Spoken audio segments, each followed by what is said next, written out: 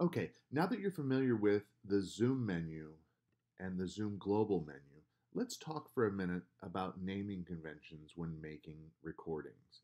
Now, because you're going to be using Zoom meetings to make your recordings, you're going to need to think about how you name those meetings. All of your recordings are going to be named the same name you used when you made the meeting. So if you go over here and you go to schedule a meeting, whatever meeting name you give that's also going to be the name of the recording because you're going to hit the recording button in the meeting and that's what it's going to remember.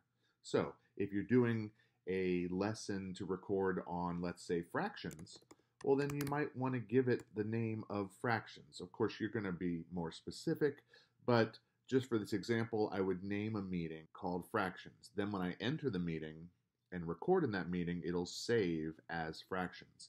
Now, if you forget to use proper naming conventions when you make a meeting, don't worry about that. You can always click on your recordings, and then once you're in your recording, you can go up here and click on this little pencil, and from there, you can change the name to something that you're going to recognize. And now, as you can see in my recordings, I have my fractions video. And so when you make recordings, make sure you use a good name that you're going to recognize and that your students will recognize.